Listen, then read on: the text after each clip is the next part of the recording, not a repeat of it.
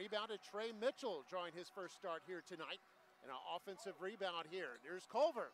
Goes inside and has the ball flat out stolen there by Walker. Two on one break and a slam dunk by A.J. Lawson to put Texas in front.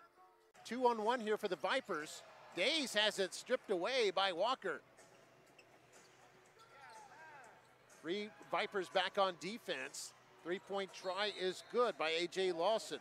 From the floor, three out of five from three point range, Jarrett Culver. By the way, at halftime, it's Dallas leading Houston 54 50.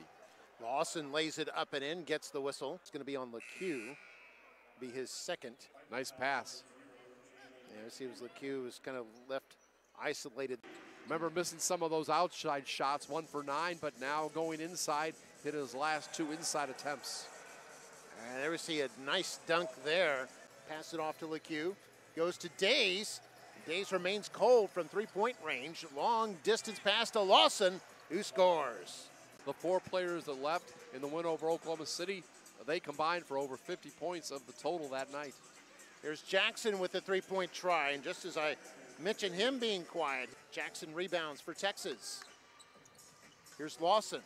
Lawson will turn on the afterburners, put up a shot, wow. and it's good. Got the blocking foul.